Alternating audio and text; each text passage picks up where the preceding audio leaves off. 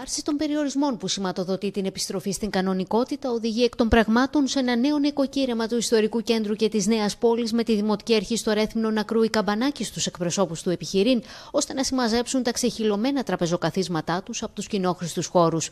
Στην ουσία, πρόθεση του Δήμου είναι να τεθεί εκ νέου σε ισχύ η προ-κορονοϊού κανονιστική απόφαση για τις κάθε είδους καταλήψεις κοινόχρηστων χώρων. Από τη στιγμή που δείχνουμε ότι φεύγουμε από το καθεστώς προστασίας που προσέφερε ο COVID ε, στα καταστήματα υγειονομικού ενδιαφέροντος, ε, θα πρέπει να επανέλθουμε ε, στη, στην προτέρα κατάσταση όσον αφορά και να απελευθερωθεί ο δημόσιος χώρος ο οποίος είχε παραδοθεί προς χρήση και μάλιστα τελώς. Είναι δίκαιο να γίνει αυτό το σημάζεμα διότι ο COVID έδωσε τη δυνατότητα σε κάποιους συναδέλφους που είχαν τη δυνατότητα να απλωθούν σε παραπάνω χώρο, από εκεί που η άδειά τους έλεγε 20 καθίσματα, να βρεθούν και με 70 και 80.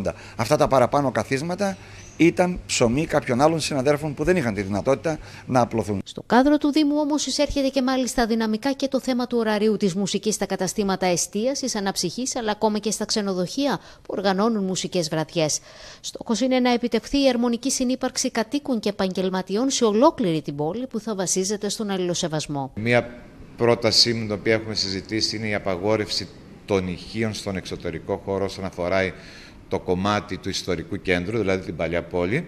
Στην παραλία, επειδή υπάρχει ήδη ένα ανεπτυγμένο επιχειρήν, ε, εκεί θα πρέπει να υπάρξει ένας περιορισμός στην ώρα για τον εξωτερικό χώρο και μετά η εστίαση θα μεταφέρεται, η αναψυχή μάλλον να μεταφέρεται στον εσωτερικό χώρο. Ο Θωνα Χριστουλάκης είναι ένας από τους επιχειρηματίες εστίασης του Ιστορικού Κέντρου που μιλά στην Κρήτη TV για τα ωφέλη που μπορεί να καρποθεί το επιχειρήν από την ισχύ του Προεδρικού Διατάγματος του 85 που διέπει την παλιά πόλη. Θα πρέπει να προστατευθούν και οι επιχειρήσεις ύπνου, δηλαδή τα Airbnb και οι κάτοικοι που δεν πρέπει να στερούνται το αγαθό του ύπνου, αλλά και από την άλλη μεριά εμείς με ευχάριστη ακρόαση μουσική να μπορούμε να λειτουργούμε τα, τα μαγαζιά μας. Κανείς δεν θέλει την ακρότητα και η ακρότητα δεν ωφελεί. Σε νέα συνάντηση των εμπλεκομένων φορέων θα αναζητηθεί η χρυσή τομή ως προς την ώρα που θα σταματάει η μουσική στους εξωτερικούς κοινόχρηστους χώρους πλην του ιστορικού κέντρου.